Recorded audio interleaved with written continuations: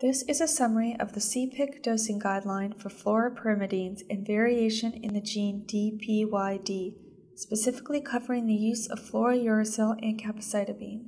This guideline was last updated in November 2018. The previous guideline, published in 2013, included dosing recommendations for the drug Tegafur.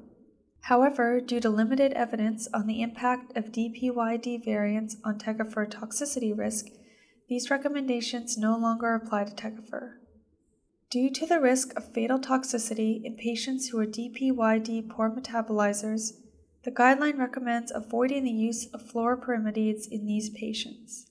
A 50% dose reduction is recommended for patients who are DPYD intermediate metabolizers. Fluorouracil and capecitabine, a prodrug for fluorouracil, are used to treat a variety of cancers. Fluorouracil is believed to work through the action of its metabolite, fluorodeoxyuridine monophosphate, or FDUMP. FDUMP blocks the TYMS enzyme, inhibiting DNA synthesis. However, the precise mechanism of action remains uncertain. The DPYD gene, which codes for the DPD protein, is responsible for inactivating fluorouracil into dihydrofluorouracil, or DHFU. This reduces the number of molecules available for conversion into the FDUMP metabolite. If a patient is a DPYD poor or intermediate metabolizer, more molecules are available for conversion into FDUMP. This leads to increased inhibition of the TYMS enzyme and puts the patient at an increased risk of severe or fatal toxicity. Dosing recommendations for DPYD variants are based on an activity score. Each DPYD variant is assigned an activity value. 0 for an allele that results in no DPYD function, such as the 1905 plus 1 G to A variant, 0.5 for an allele that results in decreased DPYD function, such as the 2846 A to T variant, and 1 for an allele that results in normal DPYD function, such as the 85 T to C variant. PharmGKB provides a DPYD functionality table with a more comprehensive list of DPYD alleles and their activity values. Follow the URL to download the table. The activity values for each allele are then summed to produce an activity score for the DPYD genotype. For example, if a patient carries two copies of the 1905 plus 1 A allele, then they have an activity score of 0 since each allele has an activity value of 0. If a patient carries one copy of the 1905 plus 1 A allele and one copy of the 2846 T allele, then they have an activity score of 0.5. If a patient carries two copies of the 85 C allele, then they have an activity score of 2. Some patients may have more than two DPYD alleles. It is important to note that when calculating a patient's activity score, only the two lowest allele activity values are added together. For example, if a patient carries a 1905 plus 1 A allele with an activity value of 0, the 2846T allele with an activity value of 0.5, and the 85 C allele with an activity value of 1, you would only sum together the alleles with activity values of 0 and 0.5. This patient would have an activity score of 0.5. Some patients may have multiple normal function variants. This rule also applies in these cases.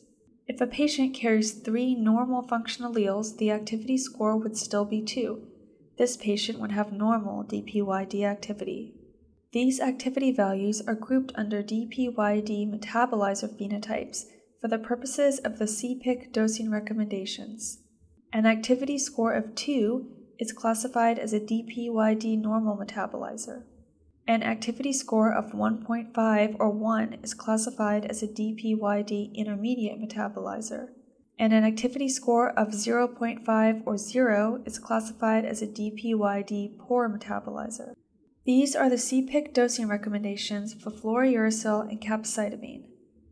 Patients who are DPYD normal metabolizers have a normal risk for fluoropyrimidine toxicity and can be given the normal dose of fluoropyrimidines. The classification of this recommendation is strong.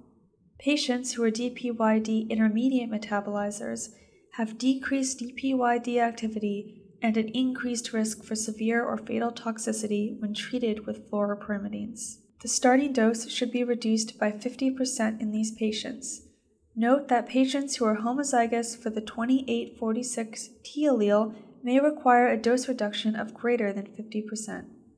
The classification of this recommendation is strong for those with an activity score of 1 and moderate for those with an activity score of 1.5.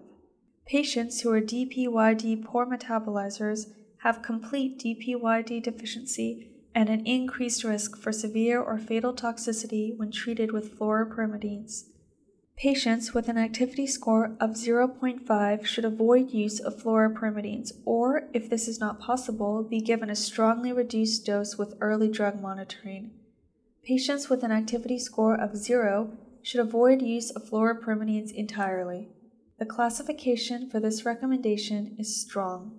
This guideline has been annotated on the PharmGKB website. This includes a drop down menu, where an activity summary can be given for specific combinations of alleles. The activity summary includes implications for the patient's response to fluoropyrimidines, the appropriate dosing recommendation for the specific diplotype, and the strength of that recommendation. Remember that variation in other genes, in addition to demographic and clinical factors, including concomitant medications, can affect treatment. It remains the responsibility of the clinician to determine the best course of treatment for a patient. CPIC and PharmGKB assume no responsibility for any injury to persons or damage to persons or property arising out of or related to any use of CPIC's guidelines or for any errors or omissions.